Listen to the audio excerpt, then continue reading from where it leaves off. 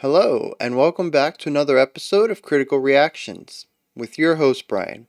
We're going to continue on with this week's theme of high fidelity black metal, looking at some black metal tracks where the production is a little bit higher quality than some of the lo fi stuff we've heard in the past.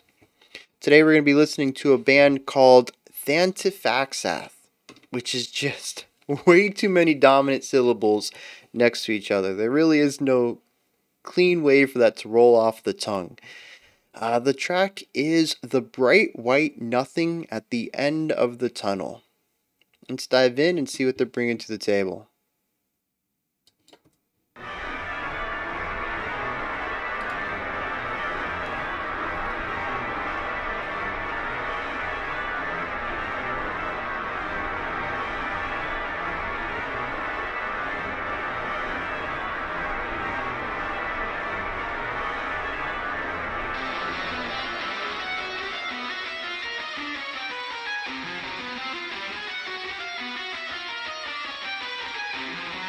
So we got a three pulse going on.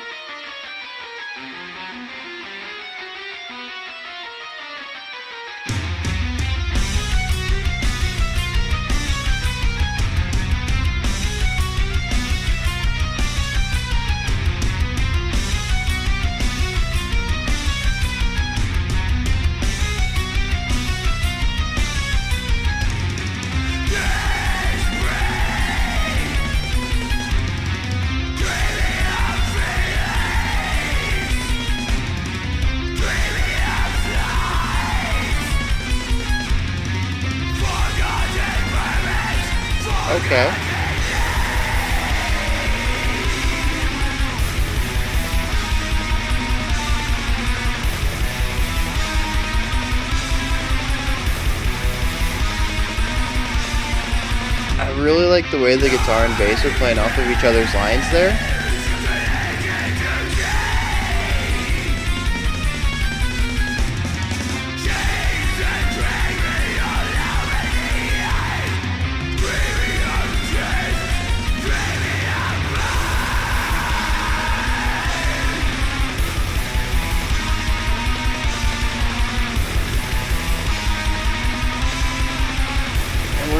Bar phrases right here, which is interesting because the intro and the verse are four.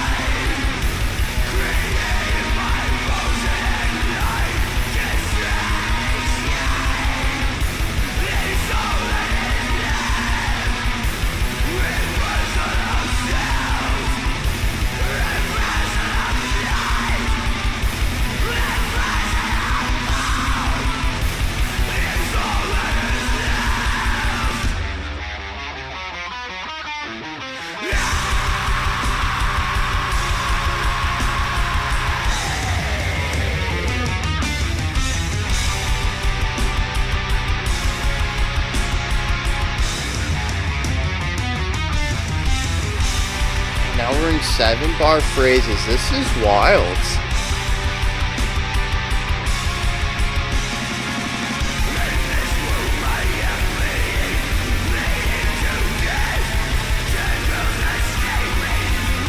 The rising and falling and the two guitars.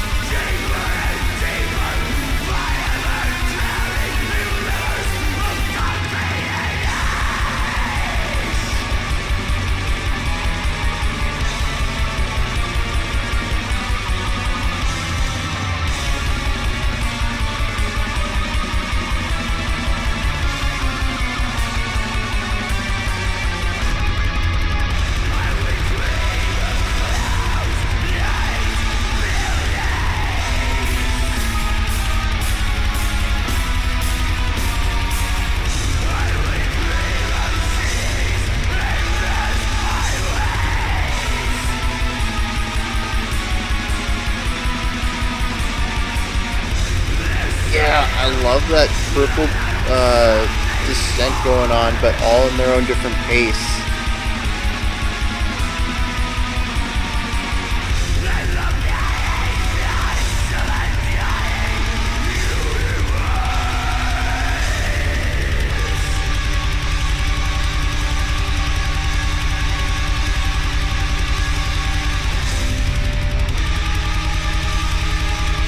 Man, those bass kicks just going.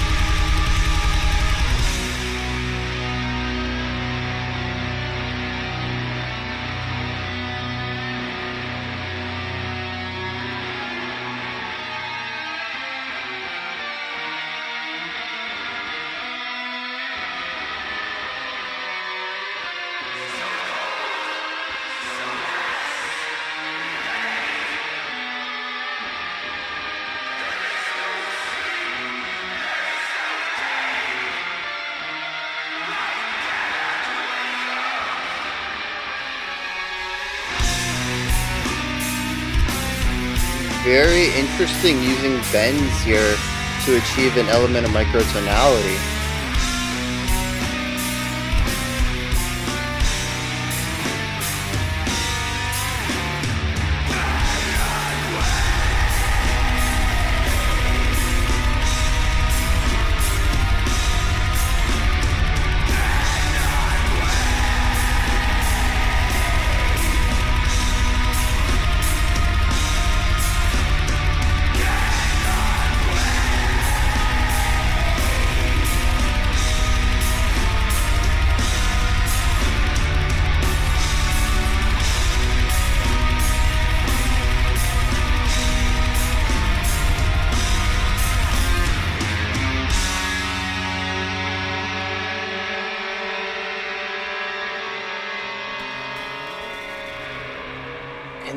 Final moment, we were doing 13 beat phrases. Uh, I felt it as 3334.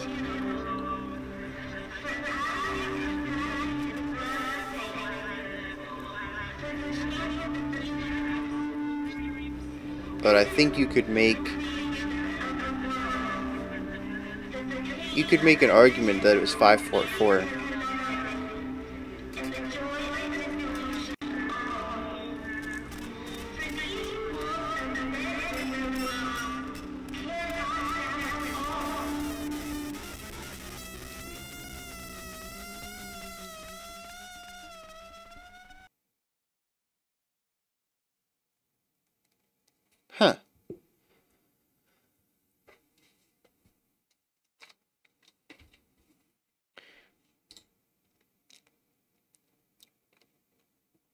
I don't know how to feel about this track.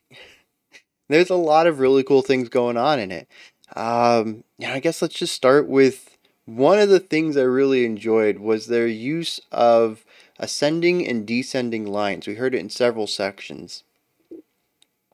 Uh, the first time we heard it, I think the right guitar was playing like a two bar phrase where they descend on eighth notes, and then when they hit the third bar, it jumps back up. But I think it comes back up a little higher than we started. So our, our starting point is always a, a little higher than we had. So our lowest point is always a little higher. So it feels like we're descending and then rising a bit and then descending and then rising a bit and then descending and rising a bit. So we're still climbing.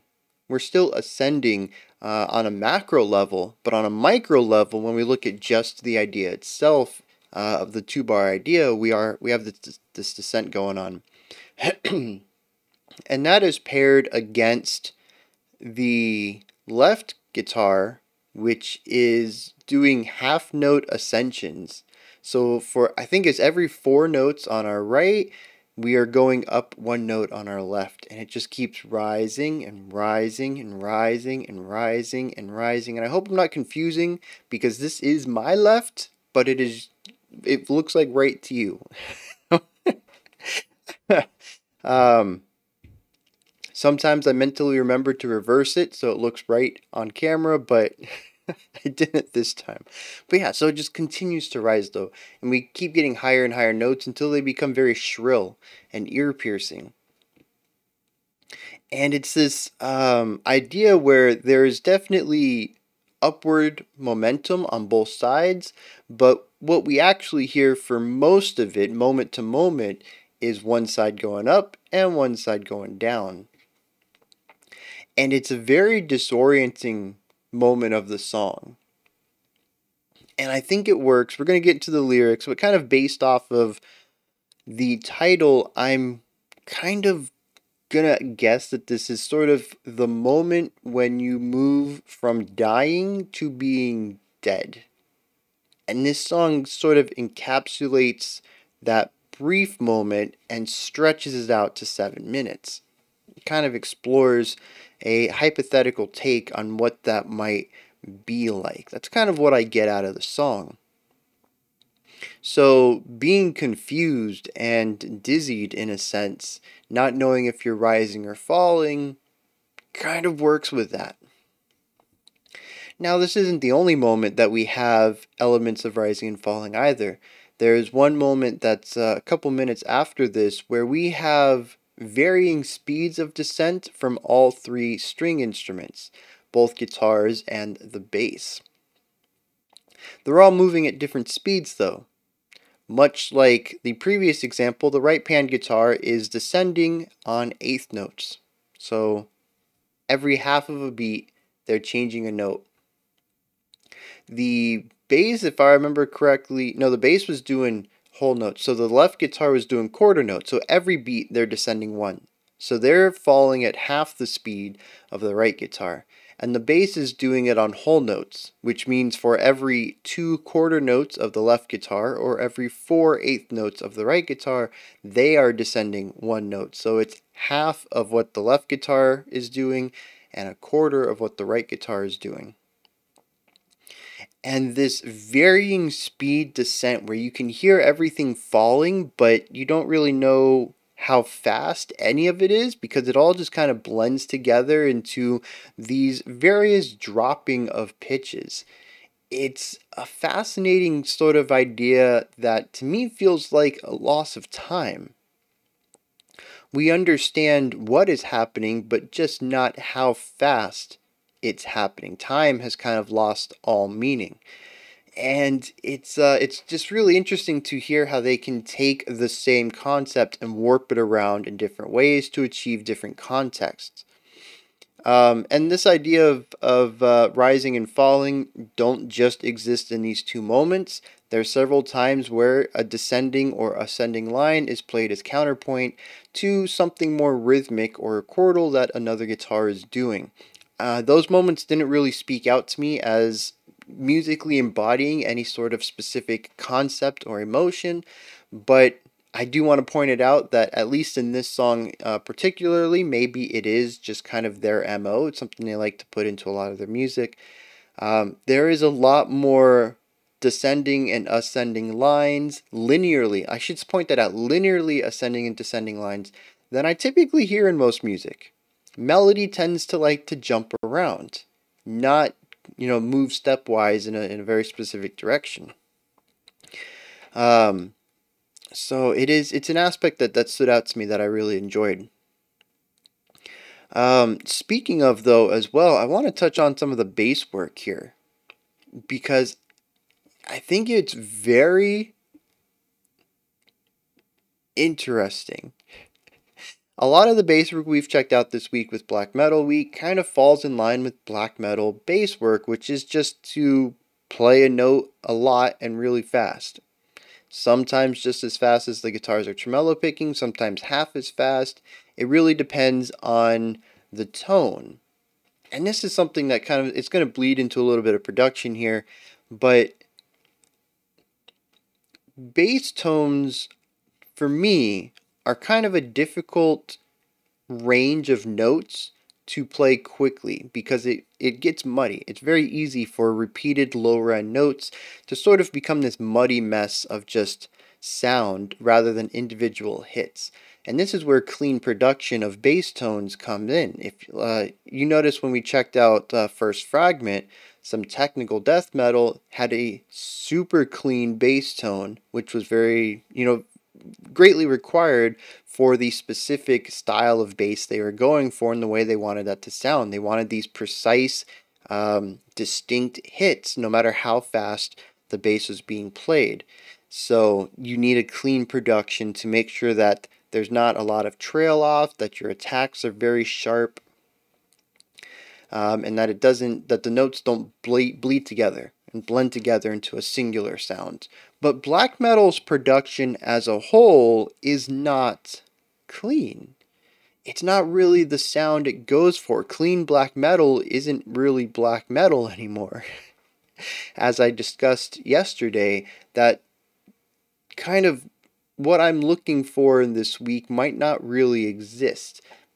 However, I do think that this is some of the closest stuff to what I was expecting. We'll get into that in a little bit later. So, uh, you know, where all this comes from, though, is, you know, I'm talking about the bass, and I've really enjoyed some of the bass lines that are going on. They're not your typical black metal, constantly, uh, you know, playing the same note. Uh, kind of doing the tremolo picking on bass, or most likely what I've heard in a few songs is half speed tremolo picking. So if uh, the guitarists are doing 16th notes, the bass does 8th notes because the less attacks, the less they have to bleed together, and black metal uses dirtier mixes, which has more uh, of a chance for bass tones to just kind of meld into a single tone. And that's where I was going with all that. Uh, but here we hear some interesting lines. There's a lot of movement to the bass work here. There's a lot of movement to all of the instrumentation here, actually. Very rarely do they stay on a single note. There are moments where it happens, but it's not it's not really the norm. And I think that's interesting because we still have the tremolo picking of black metal. We just don't have the slower moving melodic elements.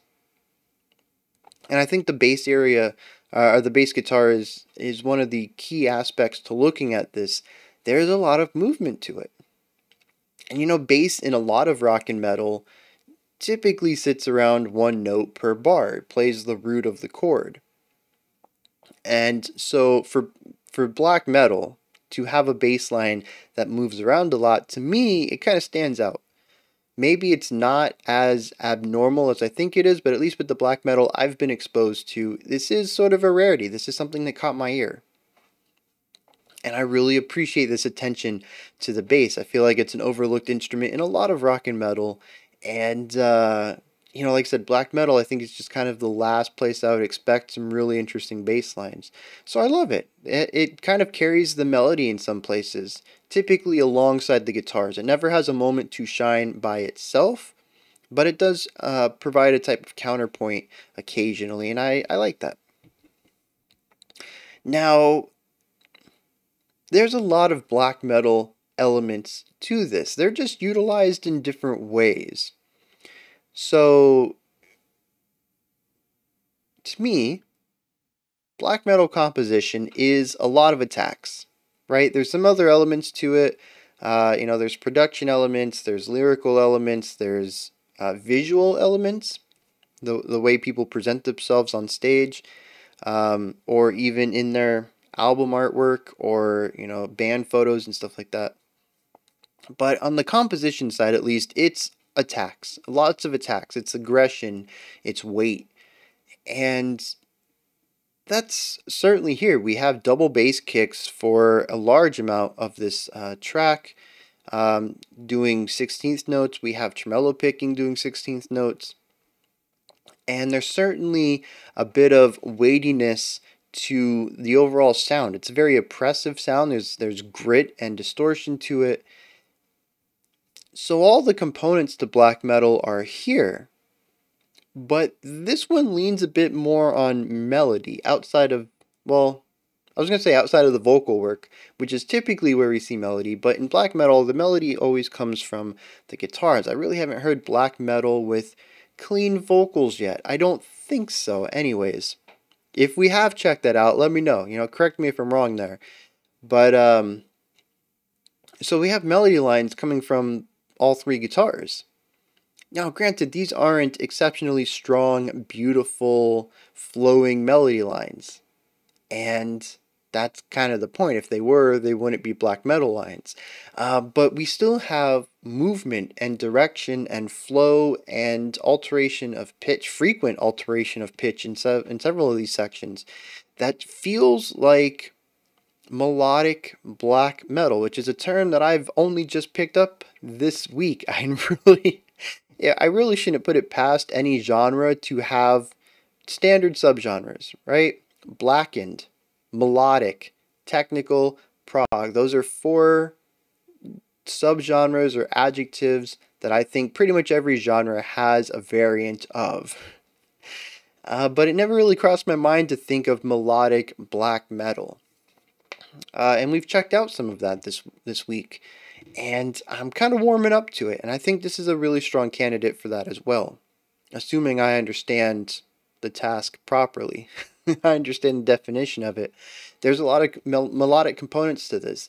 This song does rely on the texture of black metal, but it also incorporates elements of uh, moving notes, right? Not just staying on a single note and working in the atmosphere of what that note is bringing, but moving that note around and seeing what kind of stories we can tell by changing pitch with this tremolo picking 16th note concept that black metal is, you know, that I kind of attribute to black metal. And this might be the bridge I need. Because I've spoken about in the past that I'm not a huge fan of textural music. It has its time and place. There's definitely moments where I enjoy it. I haven't quite figured out the pattern to why I enjoy specific bands that are primarily textural and why I don't for others. But for the most part, when I'm listening to music casually, I'm kind of there for the melodic components, the harmonic components, the chordal components, everything dealing with um, moving notes and note relationships. And a lot of, I don't want to say a lot of metal, there is definitely a large side of metal that is very textural. It's about the way it feels, very rule of cool. You know, if it sounds cool to stay on this note and it's it makes that texture and that atmosphere that you want out of this section, go for it. We'll ride this note for a while. And uh, you know, I don't want to say that that's the wrong way to make music. I especially don't want to say that's the wrong way to make metal. There's a, a huge probably like 50-50 whether for for metal whether it's melodic or textural it's just not typically for me and black metal at least what i've been introduced to especially looking at some of the older stuff is very textural it's not so much about the notes themselves but the sound that you're creating with the notes and if that sound doesn't change when you change notes, there might not be a reason to change the notes. You just kind of stick on the same note and play it 65 times in a row. And, uh, you know, you're happy with that, and your listeners are happy with that. And again, I don't want to look down on that at all. It's just not what I usually come to music for. So, to find music that utilizes this black metal texture with the constant attacks and the sort of fuzziness in the production and pair that with strong melodic components, I really appreciate that, you know, and it might be what I need to listen to to get into the sound, to have that one uh, familiar aspect, the melodic component, for me to find a home within the sound of black metal. And then I can approach the sound of it uh, from a place of familiarity rather than feeling sort of alien within it, which is typically how I how I hear black metal. It's it's just very different. I, I have very little to latch onto, uh, both that I understand and enjoy. And this is something that's helped me with many bands in the past. It's that one style of song or that one song or that one band that takes something that I don't really get or don't enjoy and pair it with something that I do and allows me to hear the things I'm not used to in the context of things that I am. And this isn't the first band that's done it. We also checked out another band this week, and I wish I could remember which one it was. I can't remember if it was Wolves in the Throne Room or if it was Dissection. Um, but one of them was oh you know what? Wolves was atmospheric so was dissection. Yeah wolves was the atmospheric one. And you know I, I asked you know is this even black metal? And it's because they went so far into the melodic component that it to me didn't really feel like black metal anymore. I kind of put it in the black metal camp because i don't know where else to put it but there's still a part of me that thinks it doesn't sound like black metal. And this band still sounds like black metal to me, undeniably. I would not put this in any other genre, but there's also this very strong melodic component to it that feels familiar to me. It doesn't feel like black metal, but it's a small portion of it rather than the overall song. Um, so I guess we should talk a little bit about the production here because it is informing some of the things I feel about this song. Um, the guitars have a bit of fuzz to them, right? They're not clean electrics.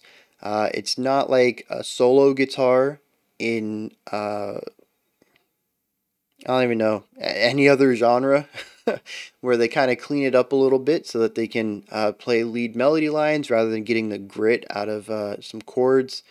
Um, you know, it's it's still a bit of a dirty sound, right? The vocals are very harsh, and there's an extra layer of compression and static put on top of them, and then they're even kind of lowered down a bit in the volume and pushed down into the mix, sort of sitting in between everything. The bass kicks are loud and booming and also a bit dry, very standard for black metal. They don't have a lot of the reverberance, it's more of that initial punch. And the same goes for the rest of the kit bit of a dry production on it that kind of goes with more of the oomph and less of the ah. That's a weird way to to think about it, but I mean it kind of works. My brain goes to genius places sometime. But yeah, you get the initial crack and then the reverb, the oomph and then the ah. Uh, am I genius for that or is that just dumb? Or is that cringy? I don't know. I really like it though. Uh yeah, so we get we get the dryness in the drums, um, and the the vocals are are gritty. The guitars are gritty. The bass is a bit cleaner. It it does have this nice warmth, warm roundness to it, but you know it's just a hair bit gritty as well. It can't be completely clean, and it's pushed down into the mix a little bit. It's hard to pick out at times, especially when the vocals are going. When the vocals aren't going, double bass kicks are not going as fast as they can the bass is a lot easier to hear, but I feel like it gets muddied up a little bit with the other lower end stuff around it. Um, so, you know, our production is very black metal, right? I'd even say that the fuzz and static are um, utilized heavily in here. It's not like they're kind of hidden, um, they're, they're just very prominent. But there's excellent use of the sound sphere the guitars are panned very far away from each other, not just being panned left and right, but kind of having some distance. They don't feel like they're right next to my ear. They feel like they're a little bit further away. There's there's some space between me and the instruments. The growls, the drums, and the bass are all center panned and they're all on the bit of the lower end so it like i said does kind of cover things up at times the bass is hard to hear when everything else is going but there's a nice distinction at least between the lower end stuff and the higher end stuff. Uh, and you know, especially when we're getting the uh, the three-way descending idea, having the drum center, the two guitars on the side, everything can be heard very clearly, very cleanly. I can distinctly hear each of the, these instruments and what they're doing, but there's still this level of fuzz, the static around all of it. It still has that stark bleakness to it. And I think this is very close to what I was expecting when we started this week. It still feels and sounds very black metal in the composition and in the production. However, I can individually hear everything. I can hear the notes that are being played. I can hear each instrument. I can hear what each instrument is doing.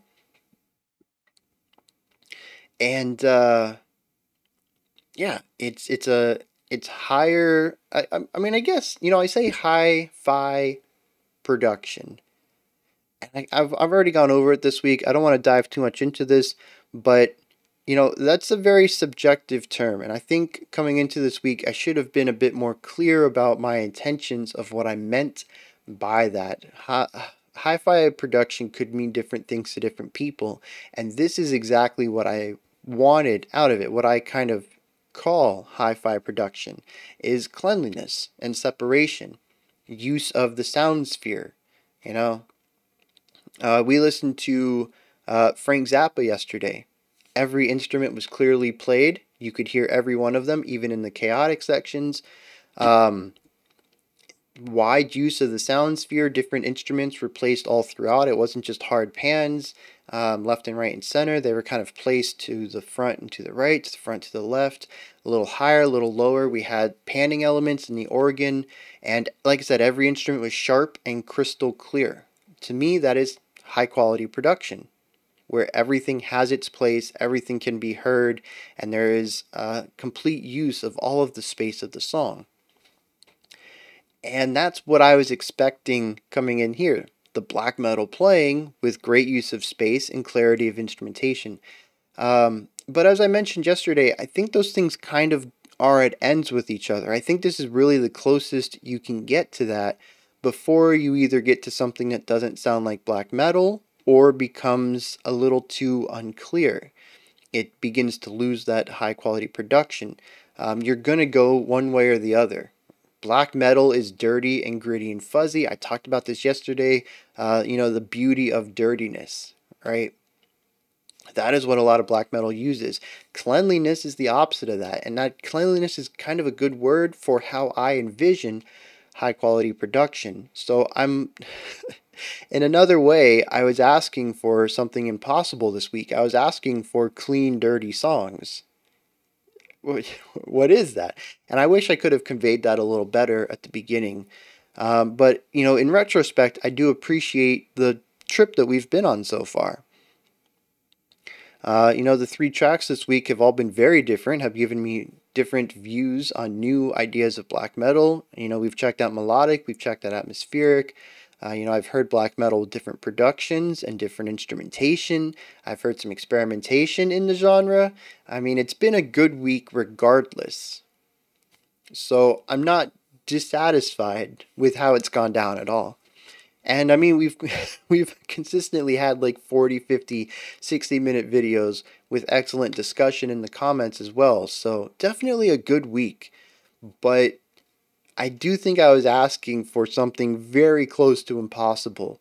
And I'm actually surprised we found something with Thantifaxath.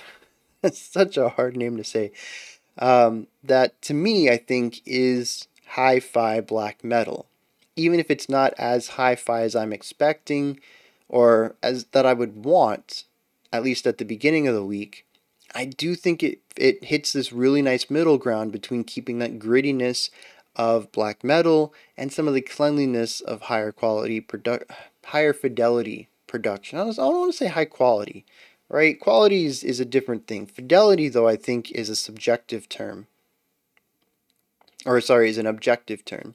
It is uh, it's about the clarity. Fidelity is clarity. I think that uh, that that's a that's a much better way to say than high quality, because there's actually a lot of work and quality control that goes into making lo-fi music. Like there's some specific ways it needs to be done. It's not something you can just sloppily put together. It's not low quality. It's low fidelity, low clarity. All right, so I guess this is where we're going to dive into the lyrics and I did real good yesterday having the lyrics pulled up already and today I have begun to fail at that. So, luckily uh, I got these uh, these quick searches in here. So we got uh, desperate, dreaming up feelings, dreaming up thoughts, forgotten purpose, forgotten name, nightmares connected to chains, chains that drag me all over the earth, dreaming up death, dreaming up birth. I think I'm spot on with this. this is kind of cryptic, not gonna lie, and I might be coming at this from the wrong angle not approaching it entirely on its own terms, but trying to find ways that tie into what I already thought the song was.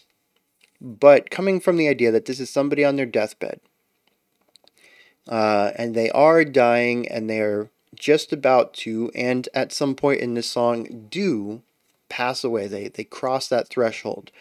Uh, this is what's going on to them. You know, they see the bright white they see the white light, they're going towards it, and uh, it's the light at the end of the tunnel kind of vibe, you know?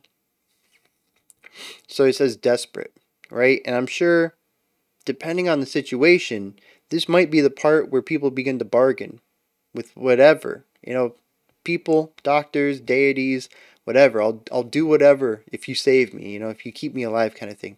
Dreaming up feelings and dreaming up thoughts. These are very interesting uh, sort of visual phenomenons, you know, dreaming up a feeling. What, what does that mean? It's it's kind of odd, but I kind of get the gist of it. Like I don't know if I can explain it. Dreaming up thoughts, dreaming up feelings. This is sort of what I think it would be like to uh, to be on your deathbed. You know, your brain's sort of half here and half gone. And so it feels like you're sleeping, feels like you're awake. You got these feelings, you got these thoughts. You don't know where they sit. Are they real? Are they dreamt? Uh, you know, the, the whole perception of reality in self must be in a very strange limbo at this moment in someone's life. It says, I've forgotten my purpose, forgotten my name. Nightmares connected to chains that drag me all over the earth, dreaming up death, dreaming up birth. And I completely see this as the stereotypical my life flash before my eyes. Right? And maybe in this person's case, I don't know if this is a concept album. Oh, it's track one, so there is no previous context for this, even if it is. Um, but uh, you know the idea of your life flashing before your eyes and maybe sometimes those are positive people see the highlights maybe sometimes people see the negatives these are the nightmares. And it feeds into this idea of dreaming. It says dreaming up death dreaming up birth. So the end of your life the beginning of your life everything in between. Distractions created by motion and light. Distraction is all that's left. Reversal of self, reversal of light, reversal of hope is all that is left. Interesting. So there's definitely this. Uh, well, I mean, the going back to the title, the bright white nothing at the end, at the end, of, the bright white nothing at the end of the tunnel. You know, kind of going back to the stark bleakness of black metal this kind of ties into a bit of uh, acceptance that there's nothing on the other side, right? It's uh, it takes the idea of the white light or the bright light at the end of the tunnel as something that you need to go to, you know, to get out of the darkness, to move on to the next uh, part of your adventure, you know, the afterlife or, you know, whatever your beliefs may be. But at least in this area we've we've put in the nothingness. It doesn't exist. There is no whiteness. There's no white light. Right? And I think that's the main thing. You know, go into the light.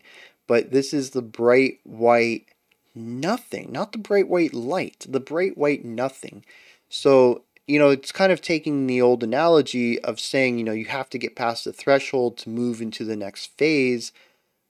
But this is sort of an acknowledgement that there is no next phase. So this is somebody on their deathbed ready to become nothing, to just reach a point of non existence.